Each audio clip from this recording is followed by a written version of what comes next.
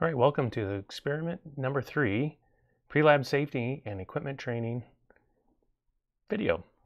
We're going to learn about fire and acid safety, different types of the flames that you can make today with your Bunsen burner, and then just some really good things about experiment three. Glad you've joined me. Let's get right to it. And there's a video on uh, how to use the Bunsen burners uh, also linked in Learning Hub, so you should go watch that. But let's watch this one first. Fire safety. You should know where the fire extinguisher is. There's a gas shutoff valve. Your TA knows where it is. You should know where it is. We should go run and turn that off if something happens if there's a fire. Tie your hair back, no loose clothing, keep all that away. To start the flame, we're going to use what's called a sparker, a striker, and you're going to use friction to create the flame. It can be kind of hard at first, but then we're not having matches that we're throwing away in the trash and starting another fire. So a little bit more about that coming up. One of the other big safety hazards is dealing with a really strong acid. We're going to use that to dissolve our carbonate solids. So what do you do if you spill it? Well, you have two choices. If you spill it on yourself, on your skin, please run immediately, not run, quickly go to the nearest sink. It doesn't matter which one because you need tap water and all the sinks in the lab have tap water. Just go there, open it up, Get some nice tap water in there, a couple minutes running. It'll neutralize it, wash it, dilute it. It's good. Dilution is the solution there. But if you spill it on the countertop, we want to go to the chemical safety shelf, get some baking soda, sodium hydrogen carbonate, it'll say for acid spills. Pour some powder on the spilled acid. That will neutralize it, and then we're going to wipe it up with a sponge or paper towels, uh, wet paper towels, wet sponge. Here's the picture of the chemical safety shelf. And right there, that bottle labeled in red, sodium hydrogen carbonate is for acid spills. That's the powder you would pour on if it's on the countertop. So you got two choices to make. If it's on you, rinse, countertop. We're going to uh, soak it up with some of that solid. It will neutralize it and then wipe and clean up. Uh, so we're going to use 6 molar hydrochloric acid. You may say, what did you just say? Well, 6 molar is um, almost one of the co highest concentrations you can get. 12 molar is the highest. 12 molar is uh, 38% hydrogen chloride. It's, it's, the, it's the highest concentration you can get. So 6 molar is just half of that, so it's been diluted in half. Super strong. Uh, you have a couple of seconds, maybe even 20, 30 seconds uh, on your skin to get over, get it rinsed off. Uh, or else, if you let it sit on your skin, you may turn into one of these stories. Go look up the Bethany Storro story. Quite interesting. Very much disfigured her face by uh, having acid thrown into it. Who threw it may surprise you. Okay, about the lab. Everybody's filling out their own lab worksheet. Everybody turns in their own lab worksheet. Everybody fills out the Google form. You, are doing this on, uh, you're doing it with a partner, but you write down stuff. It's the writing that makes it stick in your head. If you're watching someone else do it, not going to happen. So most of the things you need will be in your uh, locker. Um, your TA, though, is going to give you an unknown solid, and you're going to weigh out about 0.5 grams. But you have to do it accurately.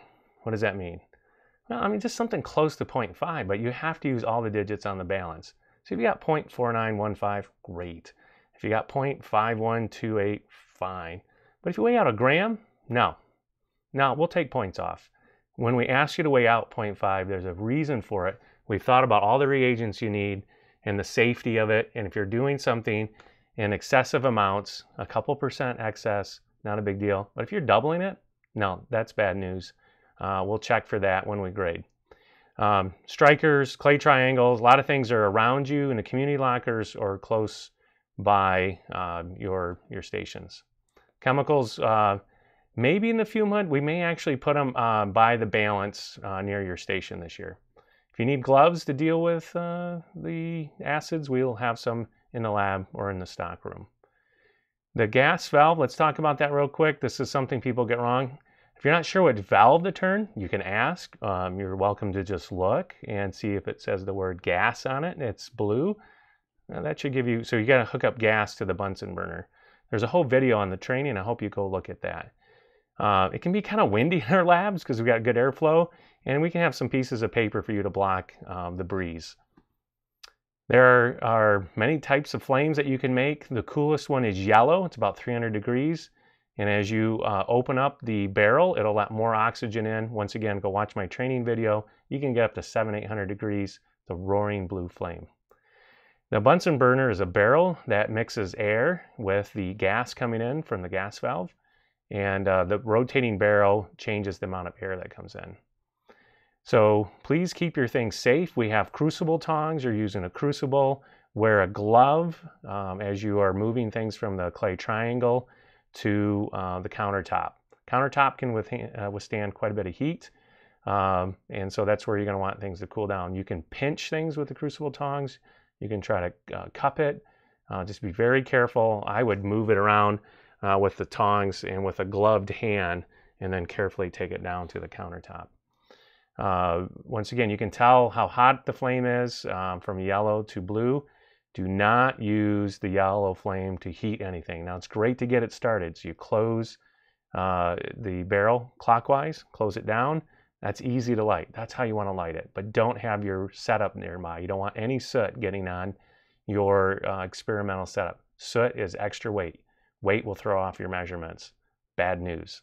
So you get the flame nice and hot in the blue uh, by opening up the barrel, twisting it counterclockwise, and then that's when you move the flame. You can move the Bunsen burner around while it's on. It's okay. And you move it underneath your setup. No one said you had to have it all set up uh, uh, together. So get it lit somewhere else and then slide it into your setup. In fact, you're going to want to move it around today uh, in your experiment when you're lighting things. Okay. Yellow is the coolest flame, leaves lots of soot. Okay. We don't want that. We don't want that luminous Bunsen flame. It's easy to start up things, but it's it's not good for heating things. All right. We want the hottest part of the flame. It's really kind of, it'll be a double flame as you'll see. And so keep it near that. Uh, here's a picture of the setup, just so you can see it.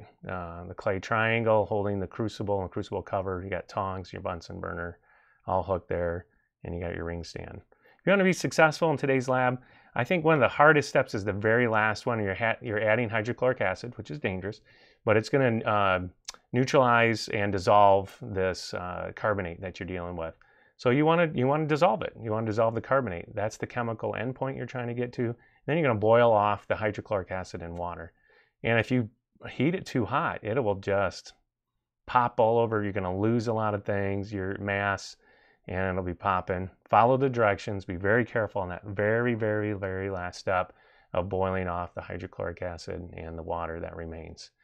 Okay, so uh, just remember to clean up. We're going to spritz down, uh, you know, wipe everything down when you get done.